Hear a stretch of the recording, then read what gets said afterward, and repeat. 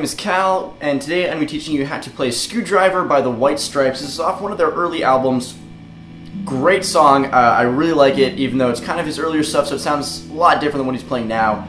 Uh, I think it sounds really good, and it's a fun riff to play. It's not too difficult. Uh, I wouldn't say the beginner would necessarily have an easy time with this, but uh, it's nice to challenge yourself every now and then. So without further ado, let's get into the song.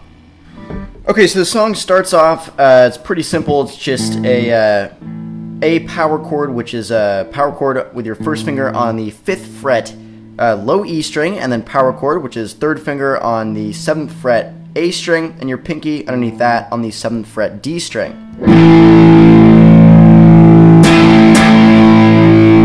And it sort of builds into that, so it goes uh, with a little bit of palm mute, which is where you lay your palm flat across the strings.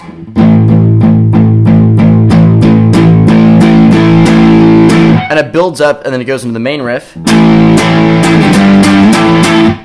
So that's one, two, four strums on that A power chord, two slow and then two fast. And then move that same power chord formation down to the uh, the third fret low E string, which is a G. Hit that hit that twice and then move it back up to the uh, the A power chord and hit that twice again. So it's all together.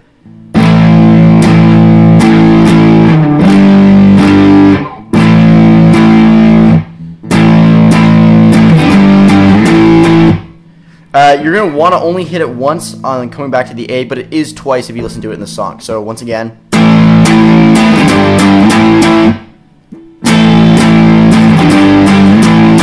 Then it goes into this. And that starts off on the fifth fret G string. And you sort of hit that quick. Uh, don't hang on the note too much. And then go to the seventh fret on the D string. And then back to the fifth fret on the A. Uh, sorry, the fifth fret on the G string. So it's. And all of those notes are hit uh, pretty quick. So there's no there's no uh, there's, you're not hanging on the note so it doesn't ring out. It's basically just one hit. And then you actually you do hang out on the uh, the fifth fret G string on that last one. So. And then you hit that note again. And then hammer on with your third finger onto the seventh fret G string.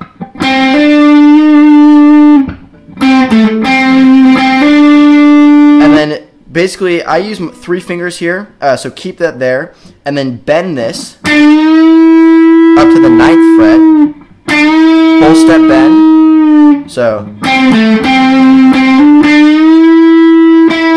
it again and let it come down, and then pull off back to the fifth fret on the G string. So and then do that pull off twice. So it's.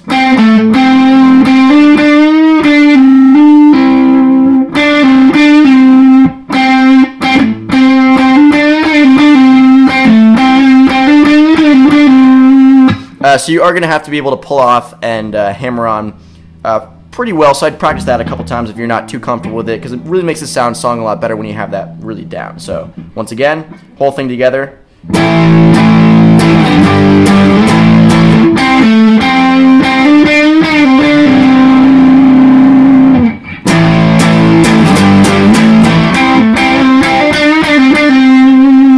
Um, now, after you land back here, you hit it once more on the seventh fret A, uh, seventh fret D string, and then back to this to the uh, the fifth fret A. So.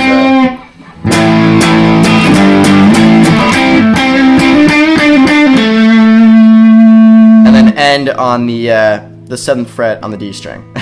it's kind of a confusing riff, to be honest. It's a little bit tricky to explain, but I'll go through it real slow one last time.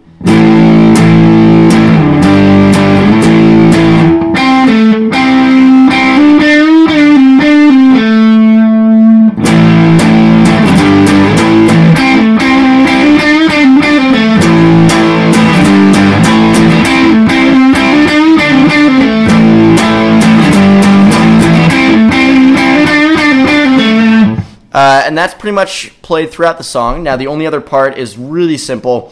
It's that same A to G Uh, but this time you just use one finger. It's not a power chord at all. So first finger on the fifth fret, low E string. And then you don't even have to pick it if you don't want to because he plays it really soft. Basically, basically just pull off and then land on the third fret uh, low E string, which is the G. So.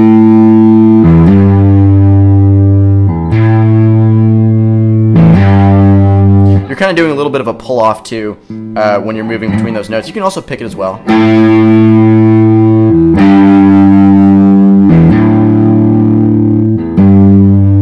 Um, and then eventually he just starts to build back up. Um, throughout the verse, he goes he goes through and sings, and then the last time when he stops singing, he goes once more time, uh, one more time on these two chords. Except for this time, he puts it into a chord instead of just your first finger. So it's.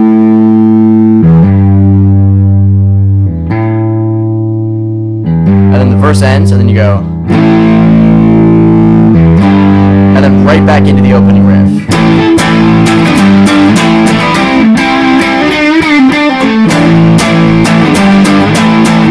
Um, now the only other trick, not tricky part, but the only other change, I guess I'd say, is where he plays uh, the opening riff, but he kind of does it, mixes it up, and plays it at different times. So it's more like.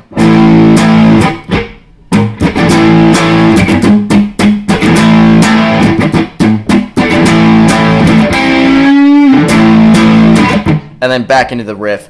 Uh, you can kind of get it. Those are all the parts to the song. You just listen and you can kind of hear what he's doing and where he's placing those notes. Because the only difference, uh, there's no different notes. It's just uh, timing wise, he changes it up slightly throughout the song.